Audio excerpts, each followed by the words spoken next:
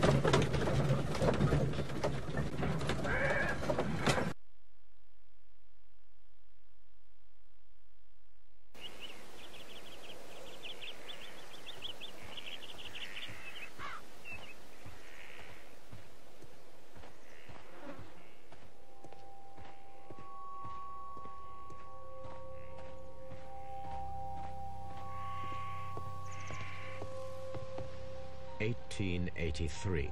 That's the one I need. This is the crew list of the Sea Unicorn.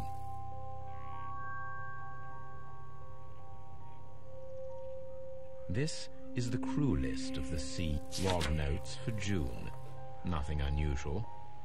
Log notes for July. Nothing special. Log notes for August. These pages have been torn away. Log notes for August. These pages have been torn away. Canadian Pacific Railway, CPR, a torn piece from a bond certificate. I have seen this abbreviation somewhere very recently. There are three ways of discovering what happened in August of 1883 aboard the Sea Unicorn. The first two of these will require speaking with a dead man. The last would be to locate vital witnesses, the sailors involved in this whale hunt campaign.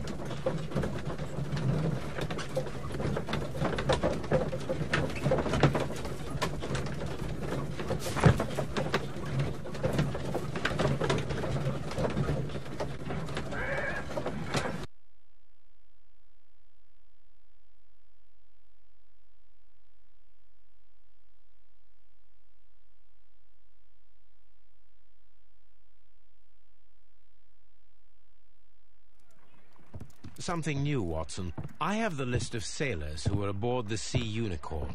We shall soon learn what happened to Neligan's father. I have only to find them. Let us hope they are still working at the harbour. I think that if you pretend you're from Scotland Yard...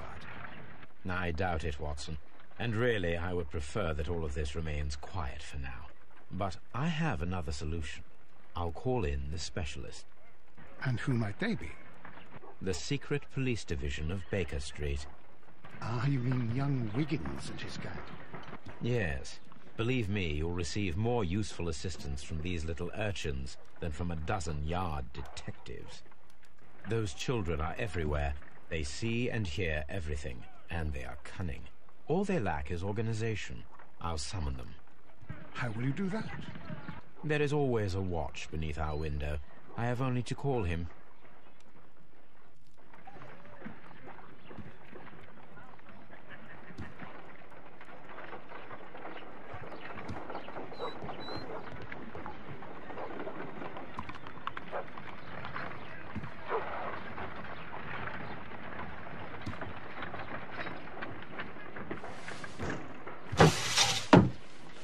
Wiggins, could you come upstairs, please?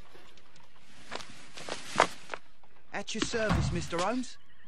Wiggins, I need you to track down certain people for me. I'll give you a list. You can read, can't you? Big Oliver from our gang. He can, because his father is the coachman of a famous lawyer. Fascinating. Here is the list of sailors. Sailors? Easy. Just got to look where the rum and the red lights are.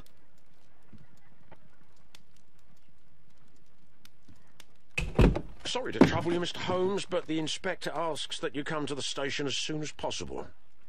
Uh, thank you. I'll be there shortly.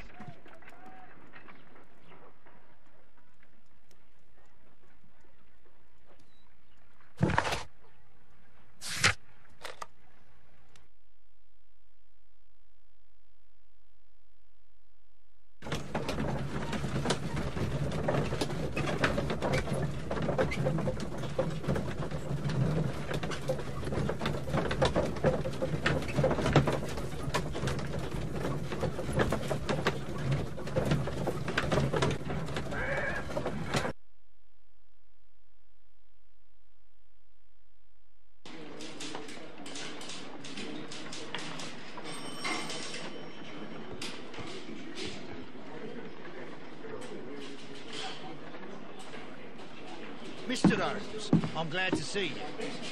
As always, what happened? We have a new suspect, Liam Hurtley. I'm thinking that this case will be resolved very quickly now. Interesting. Great tell. Well, the constable that I left at Woodman's Lee noticed a suspicious individual prowling around during the night. Do you have him here? Yes, he refuses to speak with us, but we'll make him. Let us hope so. Ah, yes, and one more thing.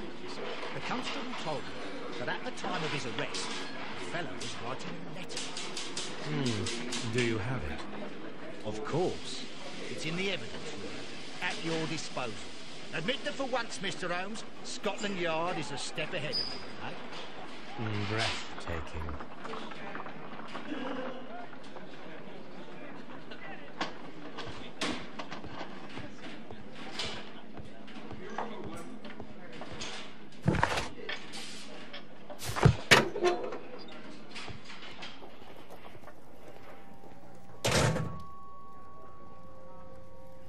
Are the suspect's belongings.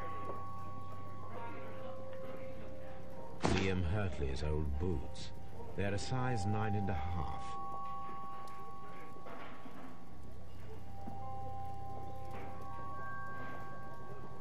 The stains are fresh. They can be removed with the proper chemicals. A pen. Nothing unusual about it.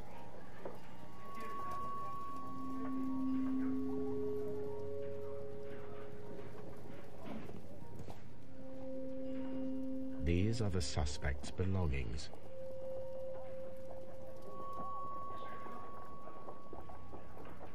I wonder if these are connected.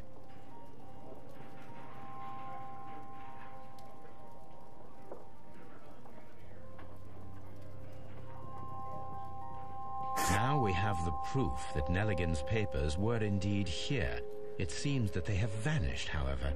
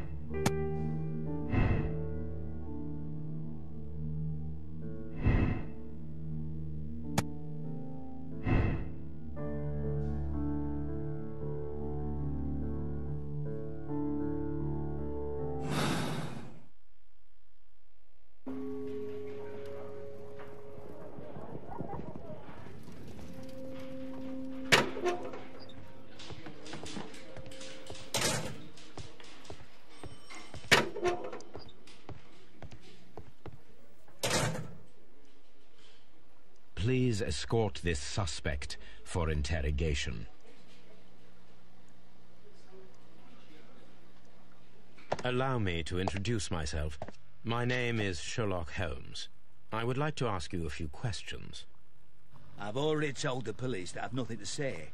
And you're not even part of the police. Precisely. And considering your situation, it might be wise to speak with someone who is, shall we say, rather more neutral. You are a suspect in a murder case. I know. Inspector Lestrade told me. It's ridiculous. Could you at least tell me who you are, and exactly what happened that you should be brought here? My name is Liam Hurtley. That I can tell you. But you're not getting any more than that. Well, we shall see.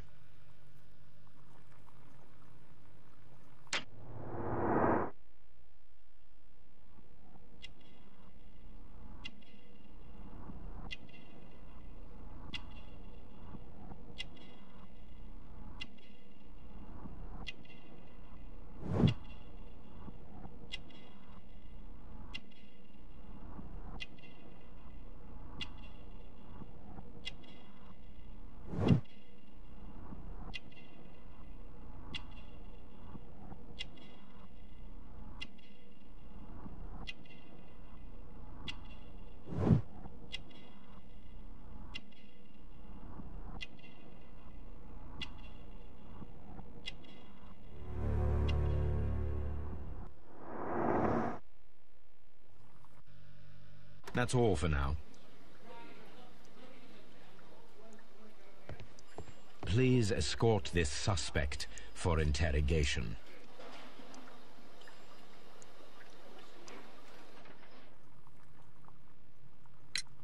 Tell me, Mr. Neligan, what exactly were you hoping to find inside Peter Carey's cabin? I, I, I was trying to find some information about my father.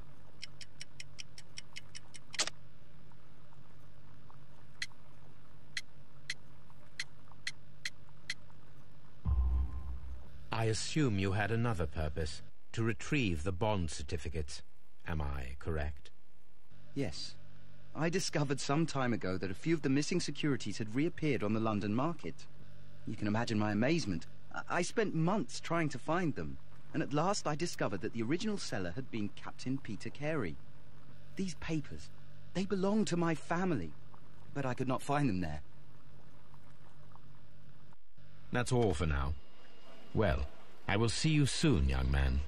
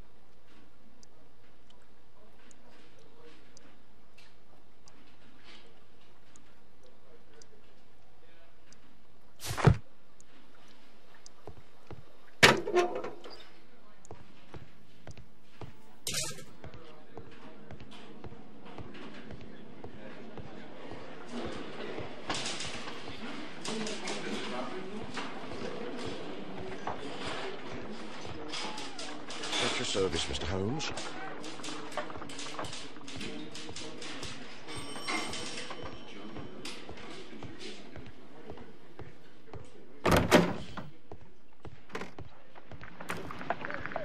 How is the investigation going, Mr. Holmes? Do you have any idea who the murderer is yet?